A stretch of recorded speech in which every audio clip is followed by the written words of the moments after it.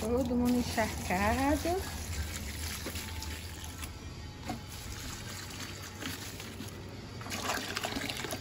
Pronto. Todo mundo molhadinho. Olha essa selva. A selva da casa. Olha aqui. Tomando conta. Tô nem aí, deixa eu tomar conta. Tá, vai ficar lindo quando isso aqui florir, né? Bora, já tô indo, tô arrumadinha, tomada banho. Ficou tudo limpinho, levando medicamento. E... É, levando medicamento, levando exame, óculos escuro, que não pode esquecer. E bora! Ah, e fizemos nossa oração já. Claro, né? Vambora. Cheguei na clínica, eu vou operar aqui. Tô esperando o Zé Carlos pagar o estacionamento. A clínica é aqui.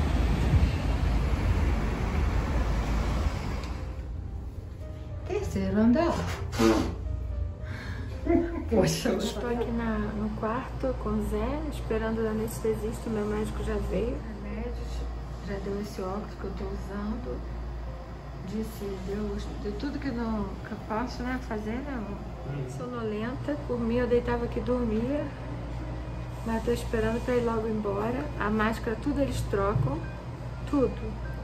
Nada do que eu vim fica. Eles dão roupão. Atendimento é profissional e humanitário, demais da conta. Eu tô com muito sono, por isso que não dá nem pra ficar falando direito, eu tô muito sonolenta por causa do calmante que eles dão.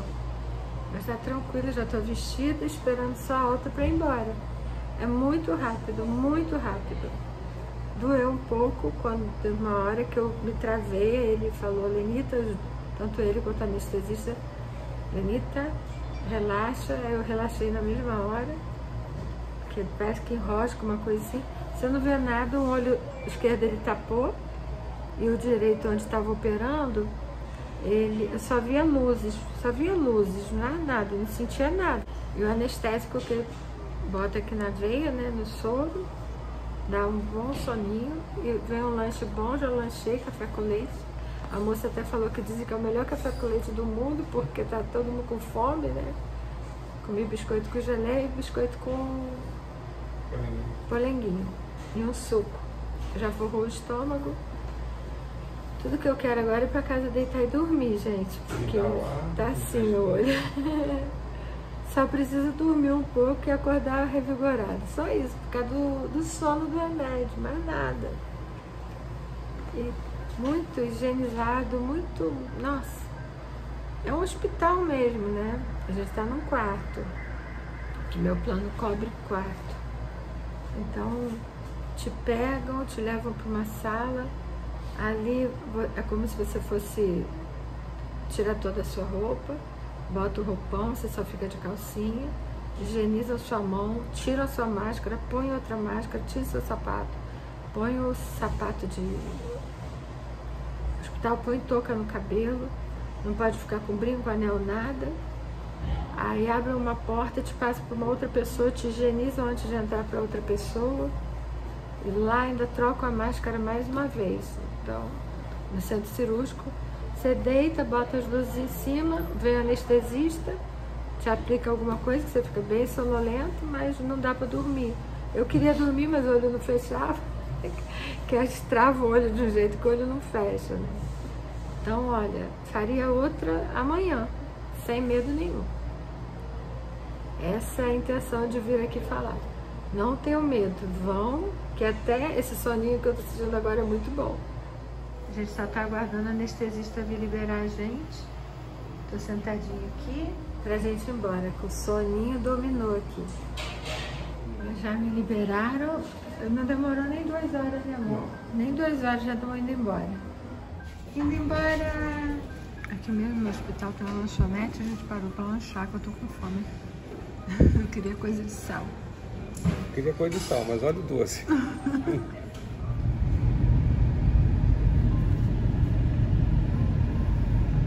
Voltando pra casa.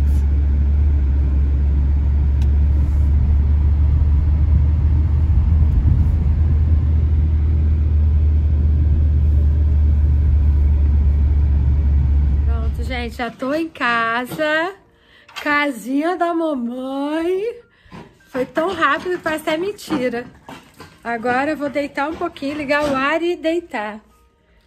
Só quero descansar agora um pouco, porque realmente o sono tá até passando, mas eu vou deitar para dar uma descansada mesmo, porque sai uma adrenalina da gente, né? Quando a gente faz algum procedimento, assim é natural. Vou lavar minha mão e o tampão pode tirar e botar só para dormir. Mas como aqui em casa tem cachorro, eu não vou arriscar não, porque eles falam para evitar contato com o animal. Então, a Estela tá aqui, Alfredo pode ter pelo e eu não tô vendo. Então, não vou tirar o tampão não, só vou, vou deixar de hoje para amanhã. Não tá doendo, não tá nada, né? E eu, eu vou mostrar para vocês, mas não é para ficar impressionado não, tá, gente? Porque não tem nada demais, olha. É um tampão de acrílico, tá? E esse curativo é só para segurar o tampão. E agora, quando tiro o óculos, dói, dá uma fisgada na vista. Quando tirar o, o óculos escuro que eles mesmos deram lá, tá? Agora eu vou tomar, lavar minha mão e vou descansar. Dia, segundo dia de cirurgia, hoje é terça-feira, tô indo para revisão do, tô indo para revisão do, do olho. Tenho consulta agora 8 horas. O que, que, o que, que eu tenho para falar pelo segundo dia? Primeiro dia, eu fiquei bem assustada porque o tampão ele fala para tirar. O tampão ele tem os buraquinhos, né? Ele falou, Leita, só usa o tampão à noite para dormir. Mas você tira o tampão. E agora já vou já botar o óculos escuro, que é para vocês poderem ver que tá normal aqui. Minha vista só tá um pouco vermelha, mas quando eu não posso maquiar, né? Quando eu olho para luz, qualquer lâmpada, é como se eu estivesse vendo raios de sol. Então não sei se isso é temporário o, as cores estão mais vivas quando eu fecho o olho esquerdo e olho com o direito. Tudo está mais vivo, vermelho, rosa, verde, muito mais vivo do que o, o de cá. A diferença é muito grande de é vividez, nitidez, né, de cor. Para leitura longe, tá ótimo. Eu, eu leio tudo longe. Para perto, piorou muito. Tudo que eu lia assim, com uma certa distância, eu não consigo mais ler. Então a lente para perto ficou bem ruim. Eu não sei se é a adaptação. E dá a impressão que tem uma coisa atravessada aqui que o olho pisca quase que toda hora assim no cantinho. E tem algo assim, é, tem algo, é como se eu tivesse um cílio atravessado, sabe? Então eu tô vendo um cílio aqui o tempo todo. Então são coisas que me incomodaram bastante a ponto de quase me tirar o sono, assim. Eu fiquei, tive muito problema para dormir, preocupada né? E porque é um gasto muito grande para botar essa lente. É, e aí eu falei, poxa, será que eu fiz isso à toa, né? Será que não vai adiantar? Porque minha visão que eu precisava era de perto, né? E aí eu botei na expectativa de melhorar. E agora o que eu posso falar para você é que piorou muito. Então vamos ver o que, que o médico vai fazer, que ele vai fazer exames, né? O que, que ele vai me dizer. Zé Carlos acho que pode ser ainda processo de adaptação, né? Mas só, só com o tempo eu vou poder falar melhor a vocês. Mas tô dando aqui só esse update do, do segundo dia de cirurgia. Estou saindo aqui do hospital, já fui atendida pelo Dr. Frederico. Ele falou que tudo que está acontecendo é normal, explicou, deu todas as explicações, é Carlos estava falando a mesma coisa, né? Falou, Lenita, é normal você ter visão é, turva, periférica, tudo isso é normal, mas no exame aquele exame de aparelho que a gente faz de oftalmo, minha vista já apresentou a melhora até para leitura. Mas ele falou que há compensação das duas, porque uma ainda tem a turva, não tanto quanto a direita, mas a esquerda é turva, né? E a, a direita agora tá normal. Quando eu fecho meus olhos, é mais bonito. Quando eu fecho a esquerda, quando eu abro as duas, a diferença é muito grande, inclusive de cor, sabe? Então ele falou que vai melhorando, né? Que é para ter calma, deixou o telefone dele para qualquer coisa, turvação, é, é, perda de visão momentânea, qualquer coisa que aconteça para eu mandar mensagem para ele. Já deixei uma consulta agendada para daqui a 30 dias, porque está em processo de cicatrização, né? Então agora eu vou dando aí o update para vocês do que vai acontecer daí para frente, mas eu saí bem mais tranquilo depois que ele fez o exame que viu a diferença. Ele falou, eita, natural que a sua vista, é, é, essa lente que ele botou, ela funciona mais com duas. Então ele falou, uma vai tentar compensar a outra. E por isso você está sentindo uma dificuldade, né? E o meu grau do óculos, para essa, não é o mesmo grau que eu tenho o grau do óculos, porque ela mudou o grau. E aí, quando eu boto meu óculos, eu sinto uma diferença estranha, porque o grau mudou da direita, né? Eu continuo com o mesmo grau no meu óculos. Então, tudo agora é adaptação. Mas eu saí com eu tava meio tremendo, confesso a vocês, mas saí mais calma. Né, amor? Uhum. tava nervosa. Ah, tava nervosa. Tô sem voz, eu perco a voz quando eu fico nervosa, tava nervosa. Pouco nervosa é elogio.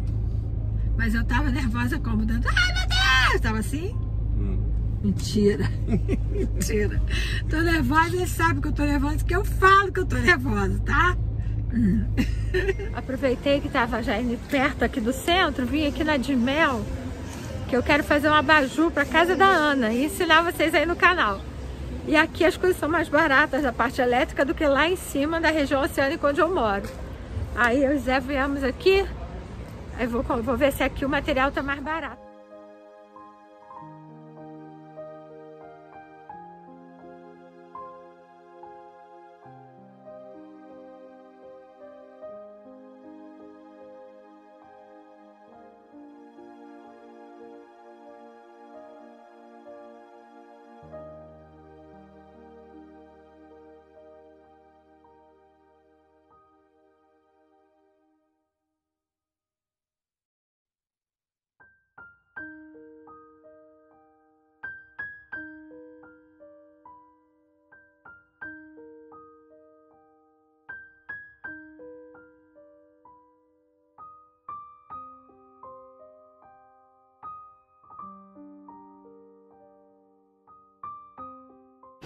Para vocês terem uma ideia, esses